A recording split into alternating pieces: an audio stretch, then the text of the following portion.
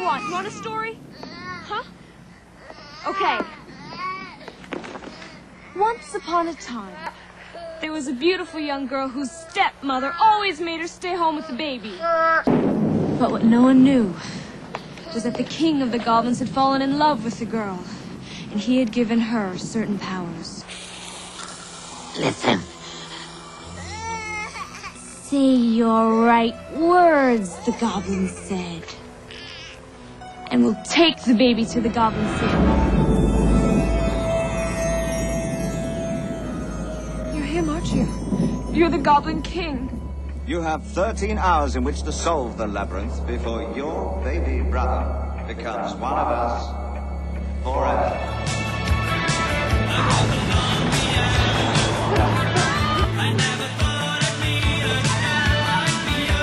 The imagination of Jim Henson. The wizardry of George Lucas.